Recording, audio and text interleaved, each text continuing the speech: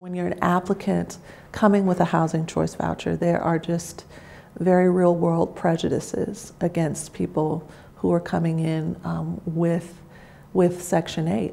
And so having um, kind of uh, an administrative lead in the form of people who are representing you and vouching for your character is just huge.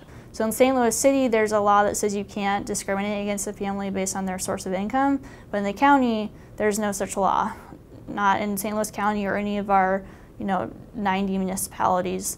So I might be uh, a voucher holder with a steady job, steady income, good credit, and a good uh, rental history. And if I have a voucher, the landlord can just say no, thank you. The degree of importance of extending housing to people like me goes beyond just the risk to a property manager.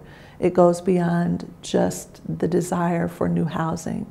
It really is a form of hope building and, um, and mobility towards a better lifestyle that, um, that many of us could not possibly dream of or afford without these types of programs.